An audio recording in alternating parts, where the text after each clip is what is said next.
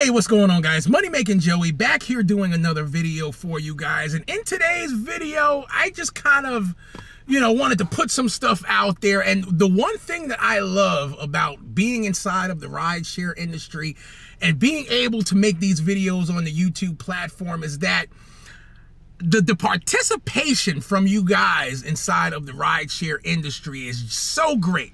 And it's so great to the point where I really think that if we stood together, a lot can get done. It's just the problem in standing together is that we all have to be on the same page.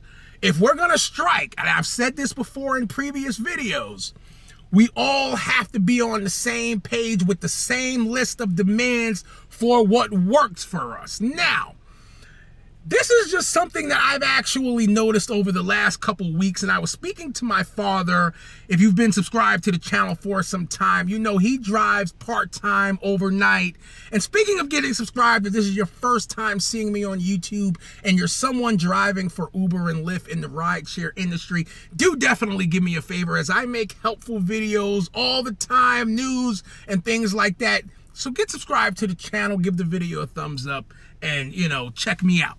So one thing that I've been noticing, and, and I'm to be honest with you guys, I am not actually sure if this is a good thing, bad thing. Are we moving in the right direction? Are we moving in the wrong direction? I don't know. It, it, it really could be up in the air. I am just to put it that way because and the reason why I say this is because, as you guys know, several weeks ago, might have even been a couple months ago, I think this might have started. We're in April now. This might have started sometime in February or beginning of March on the Lyft platform. They said, hey, you know what?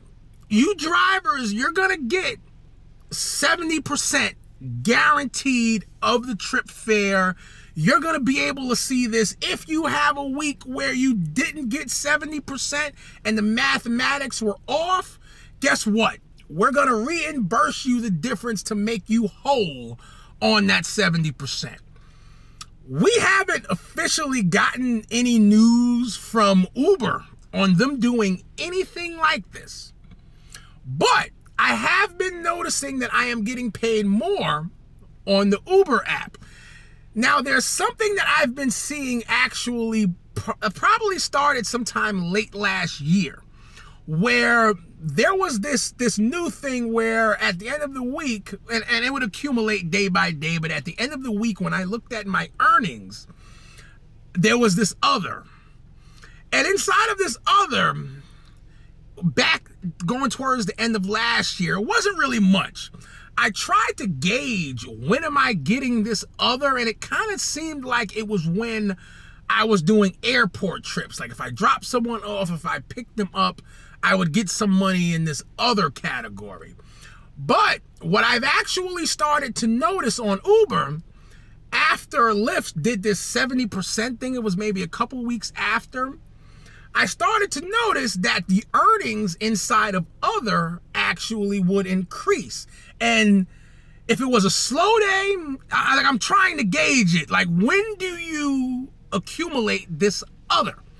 And what I noticed over the last couple weeks is that when it's a tad bit slow out, I don't typically get these other earnings. But when it's busy out, I have noticed I get the other earnings. Now, it's not a lot of money, but I would say as a part-time driver, me out there, you know, around 25 hours per week, I might get an extra 40 to $50 in this other category.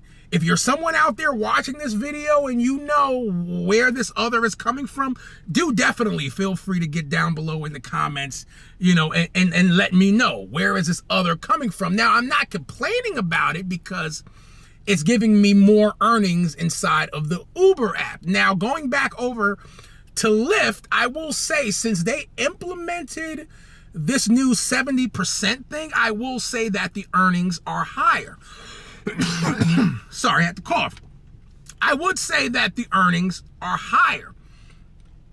But going back to the title of this video, it's a little bit funny just due to the fact that if you really go through the trips for the week, the fact of the matter is is that we're getting 70%, but we're not really getting 70% because like I could take a trip where a rider paid $10. It's a short trip, but I only got three and some change. But then now I'll get a longer trip where the rider might have paid $20, $30 and then now it kind of balances me out. So on the Lyft platform, one thing that's for certain is there's just a tad bit of a numbers game going on because at the end of the week, yes, it does hold true that you're going to get 70%. Like I actually took a week off and I was down in Charlotte, North Carolina, and then I actually went into Atlanta as well.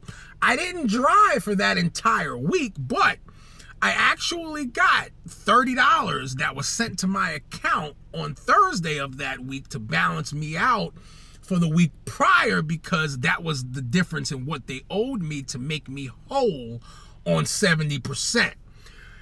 I am not sure when we're going to reach a point in the rideshare industry where we can get things to be straight up front this is what it is and this is how it will work because the reality is, is that if Lyft comes out and says, hey, you know what? I am going to guarantee you guys 70%. It should be easy and clear cut to the point where it's like, okay, you got this short trip. The rider paid $10. Here's your seven because you get 70%. Well, actually, it's not going to be seven because, of course, now we have these other expenses like commercial auto and you know things like that the commercial auto if you've been subscribed to the channel for some time you guys already know my opinion on that one we need to do something completely better you know when it comes for that because we're already paying regular insurance and then now you're taking a large chunk of the cut for commercial auto there's a $2,500 deductible on that. Unless I am totaling my vehicle out, it does not make sense for me to, to be under that insurance at a $2,500 deductible. I've said that many times before. So now, it, it kind of leaves me to wonder, like, like, why can't things just be easy smooth? But it is what it is. I'm going to leave this video here. Money Making Joey, I'm out of here. I will see you guys in the next one.